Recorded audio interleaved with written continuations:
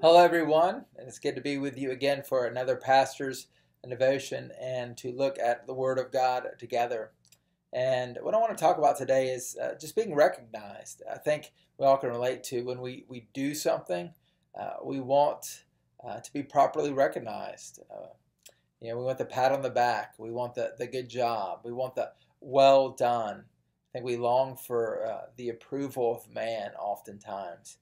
And Jesus gives us uh, great wisdom and uh, a great uh, lesson in that in terms of our, our spiritual growth and walk with Him. And it's a story found in Luke chapter 17, starting in verse 7.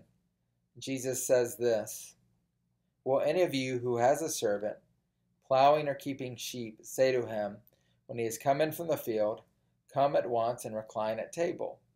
Will he not rather say to him, Prepare supper for me, and dress properly, and serve me while I eat and drink, and afterward you will eat and drink. Does he thank the servant because he did what was commanded?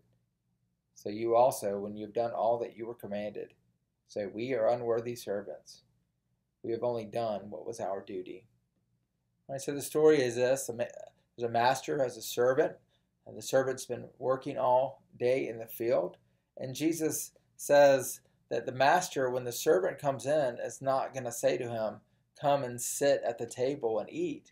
No, rather, the master is going to say, Please yeah, prepare supper for me, prepare a drink for me, dress properly. And after you do that, then you can eat and drink. Then Jesus poses this question, this rhetorical question in verse 9 Does he thank the servant because he did what was commanded? And the answer is no.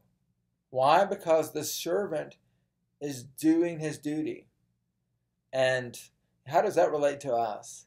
As the people of God, when we live for Christ, when we follow the commandments, you know, such as uh, giving faithfully to the church, you know, not stealing, not committing adultery, honoring our mother and our father, you know, not gossiping, being kind, loving, serving.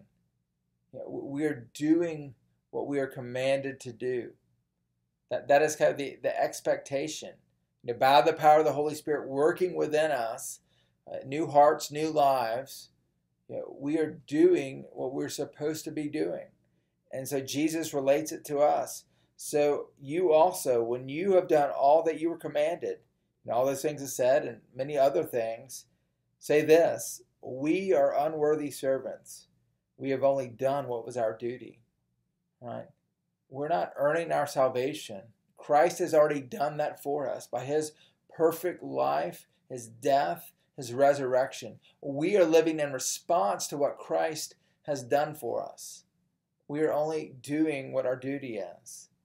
We are truly unworthy servants and we have the righteousness of Christ placed upon us, and we live in response to that goodness by being servants of the King. Let us pray. Almighty God, thank you for Jesus, our hope and salvation. And Lord, uh, just help us to remember that we are unworthy servants, that Christ has done all for us. And Lord, we, we know it's by your grace that we are saved. Lord, help us to, to live out a response of love for you. Lord, be with us this day. In Christ's name, amen. Have a wonderful day.